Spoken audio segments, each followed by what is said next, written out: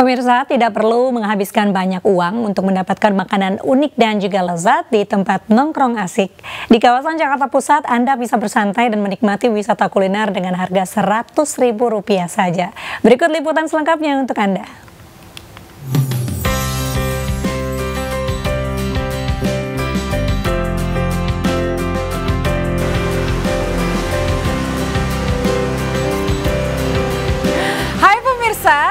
Sudah ada di Pos Blok Jakarta yang mana ini merupakan ruang kreatif publik di mana Anda bisa menikmati banyak sekali wisata kuliner sekaligus bersantai. Nah, sekarang saya mau menghabiskan uang cash sebesar Rp150.000. Kira-kira bisa dapat apa aja ya di Pos Blok? Ikuti saya ya.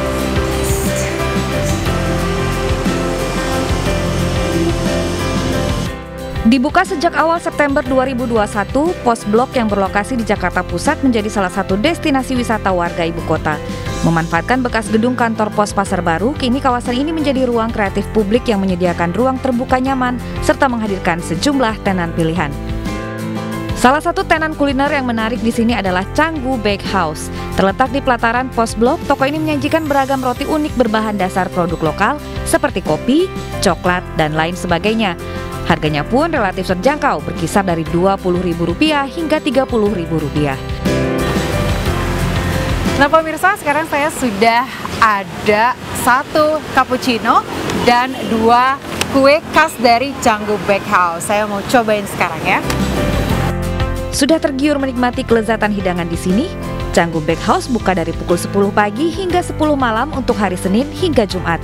Sedangkan untuk Sabtu dan Minggu buka dari pukul 7 pagi hingga 10 malam. Iya, bedanya memang bahan-bahan yang kita pakai produk-produknya lokal, Kak. Jadi an, uh, ada Pak Alvin sebagai main behind-nya itu beliau seorang seniman yang memang suka untuk ngulik produk-produk lokal. Jadi event yang dijual ini croissant ala-ala Prancis gitu ya, Kak semua bahan yang digunakan di belakang itu produk-produk lokal. Seperti? Canggu Bakehouse? Udah yang kedua kalinya sih ke sini. Oke, gimana Mbak menurut Mbak Canggu Bakehouse? Um, lumayan sih oke okay, gitu kan buat nongkrong-nongkrong gitu, duduk-duduk oke okay sih. Yang favoritnya apa yang ada di sini? Uh, Canggu Boy sih sama aren latte. Selain tenan makanan, di sini juga terdapat minimarket. Terletak di gedung Filateli, mini pos blok market menjual berbagai macam jenis makanan dan minuman produk lokal.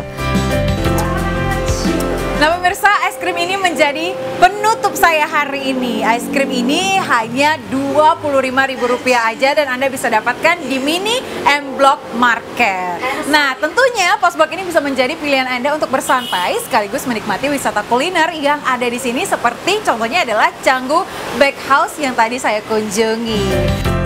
Dari Jakarta, Aya Nufus, Leman, iNews melaporkan.